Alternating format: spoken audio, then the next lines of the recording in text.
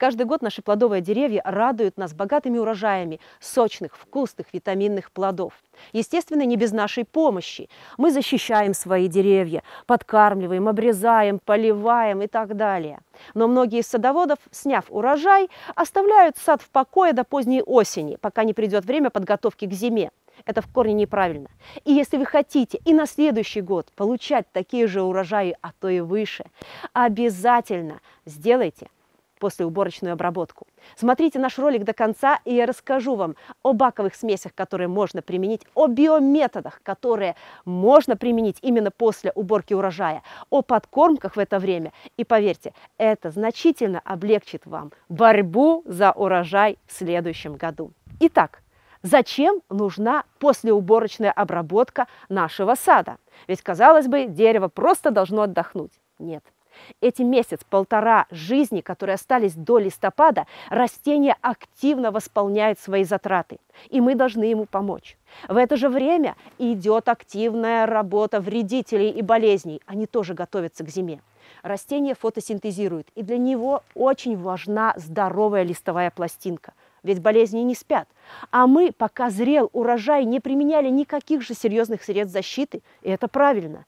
И поэтому болезни накопили свои силы. Вредители тоже не спали и организовывали наступление на наши деревья, будь это яблони, груши, вишни или любимые черешни с абрикосами. Деревья активно фотосинтезируют, и мы должны спасти их листья. Это основной источник питания. В это же время растения наши должны останавливать свой рост, активно одревесневать, закладывать верхушечные почки и всячески готовиться к зиме. И здесь главное подкормить правильно, с тем, чтобы растение ушло в зиму подготовленным. Еще одна причина, по которой так важно провести обработку именно сразу после съема урожая. Дело в том, что когда мы снимаем яблоки, вот у нас здесь созревает коваленковская красавица, на дереве, хотим мы того или не хотим, появляются микроповреждения. Следы от плодоножки, сломанные веточки, плодушечки и так далее. А это все вороты для инфекций, для разных раковых заболеваний коры древесины. Чтобы их было меньше, нужно обработать свой сад. Итак, основные задачи после уборочной обработки. Защитить наши растения перед зимовкой от болезней, от парши, листовых пятнистостей, защитить наши растения от вредителей, которые продолжают есть листья, подкормить наши растения и предупредить заражение болезнями коры древесины. Таким образом, дерево восполнит свои затраты и на следующий год отблагодарит вас хорошим урожаем фруктов и ягод, если речь идет о ягодных кустарниках. А сейчас давайте подойдем, пожалуйста, к дереву и посмотрим на него. Это наше подопытное дерево, сорт Коваленковское, на котором мы проводили целый ряд различных операций по защите, по формировке. То есть это такой подопытный кролик. Но несмотря на все наши заботы, вы можете видеть, вот пятнышки, это у нас филостиктоз. Вот здесь у нас прячется парша, начала деформировать. Вот, листики, видите, на нижней стороне тоже пятнистость пошла. Если сейчас мы, вот видите, сколько пятнышек, пожертвую листиком, вот. Если мы сейчас оставим дерево без защиты, то все эти болезни концу сезона разовьются очень сильно, и начнется преждевременный листопад, дерево ослабеет. Поэтому после того, как мы снимем наш яблочки, наши груши, обязательно берем отпрыскиватель и идем в сад. И особенно хочу обратить внимание на косточковые. Дырчатая пятнистость, кокомикоз, циркоспориоз, куча других листовых пятнистостей способны просто облысить, по-другому не скажешь, деревья и алычи, и сливы, и вишни, и черешни. Проблема, так сказать, лысой вишни, э, думаю, известна всем. А лишившись листвы, дерево просто голодает, ослабляется и может вымерзнуть. На этом дереве мы проводили осветляющую обрезку, чтобы получить яркую, красивую окраску. Вот яблоко, которое мы осветляли. На нем образовалась сплошная, без штриховатостей, красивая темно-красная окраска, сорт Коваленковская, и я его сейчас сниму. Кстати, как правильно снять яблоко, чтобы не повредить ни его, ни растения? Берем яблоко снизу всей ладошкой, чуть-чуть приподнимаем и поворачиваем. И вот все равно, видите, есть повреждение небольшое. Оно прочно держалось. Вот. Вот эти повреждения при съеме урожая потом становятся э, воротами для различных инфекций. Обратите внимание, какая ровная, красивая, сплошная окраска образовалась на этом яблоке благодаря осветляющей обрезке летней операции, которую мы с вами проводили. Здоровая. Здесь мы на этом яблоке, кстати, отрабатывали и методы защиты, и биологические в том числе. Единственное пятнышко – это синячок, которое яблоко натерло на веточке.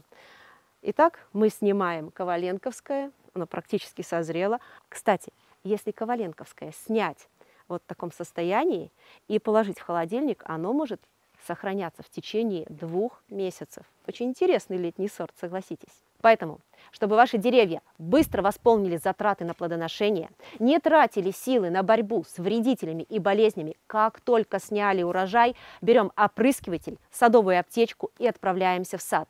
И сейчас мы будем делать обработку после плодоношения по стандартной смеси баковой, в которой входит и инсектицид, и фунгицид, и нужная подкормка. Для защиты от болезней, от парши, листовых пятнистостей, мучнистой росы берем топаз – от листогрызущих вредителей, гусениц, тли и прочих эфория. Для того, чтобы ваши растения быстро завершили вегетацию, заложили верхушечные почки, хорошо одревеснели, в целом подготовились к зиме, берем кристаллон коричневый. Здесь минимум азота, всего 3%, зато максимум фосфора и калия. Они необходимы для того, чтобы, во-первых, остановить рост, они способствуют хорошему накоплению крахмалов, сахаров в запасающих тканях растения и хорошей закладке почек, цветковых, ростовых и так далее. То есть мы сейчас этим удобрением поможем растениям перейти из фазы активного роста в завершение, и растения уйдут в зиму подготовленными. Это немаловажно. И, естественно, чтобы все эти препараты хорошо сработали, не забудьте добавить пол чайной ложечки лимонной кислоты. Эти препараты хорошо работают в слабокислой либо кислой среде. Такая баковая смесь надежно защитит ваши деревья, ваши кустарники от болезней, от вредителей, подкормит их, поддержит и настроит на правильный лад. Как правильно обрабатывать, я думаю, все помним. Наливаем в опрыскиватель немного воды, около 1 трети. Добавляем в него средства защиты от вредителей. Мы берем эфорию. Дальше добавляем средства от болезней. Я взяла топаз. Последним добавляем всегда удобрение. Две ложечки кристаллона коричневого на 10 литров воды. Доливаем воду до 10 литров, тщательно перемешиваем и добавляем немного лимонной кислоты. Еще раз перемешиваем. Отправляемся в сад и обрабатываем те деревья и кустарники, с которых урожай уже снят. Помним о технике безопасности и правилах применения. Обработку проводим в пасмурную погоду днем или вечером, когда солнышко садится, желательно в безветренную погоду. Но что делать, если вы приверженец только биологических методов защиты? И на этот случай у нас есть свой рецепт. Первое, что нам понадобится, это профит антивредитель. В нем содержится комплекс бактерий, комплекс грибков, которые способны вызывать заболевания и гибель огромного количества насекомых-вредителей. А для защиты от болезней можно взять профит, сенная палочка с гидрогуматом или без него. Либо вы можете взять битоксибацилин и фитоспорин М. Фитоверм как средство от насекомых и клещей тоже хорошо поможет справиться вот с этими вот вредителями сада и огорода. Ну и, конечно же, применение биопрепаратов в это время без удобрений тоже не будет давать должного эффекта. Поэтому готовим баковую смесь из профит антивредитель, сенной палочки и обязательно добавляем кристаллон коричневый. Подкормка – это очень важный момент в это время. Ну и, конечно же, помимо подкормки по листу, для растений очень важно, чтобы и корневая система тоже получала свое питание. Дело в том, что многие элементы питания, многие сложные органические вещества содержатся только в почве. И здесь вам поможет растим плоды.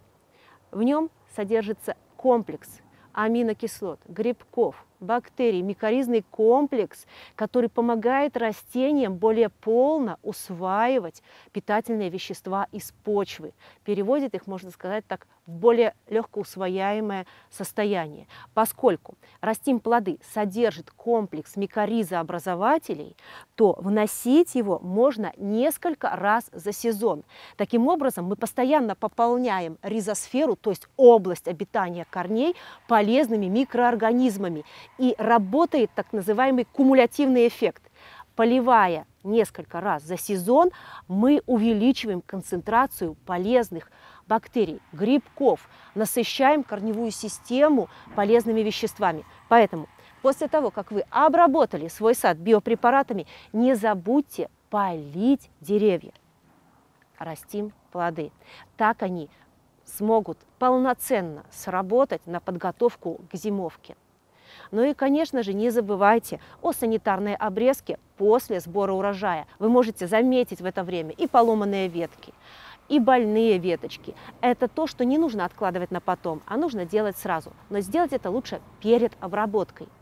Вот. И, конечно же, не забываем собирать падалицу. Кстати, все эти биопрепараты, другие средства защиты сада и огорода, а также многое из того, что нужно садоводу-огороднику, можно купить в наших магазинах «Процветок» в городе Минске на Кирова 3 и Куйбышева 69. Обязательно захотите. Ну а вам, конечно же, процветания, хороших урожаев и хорошего настроения. До новых встреч на нашем канале.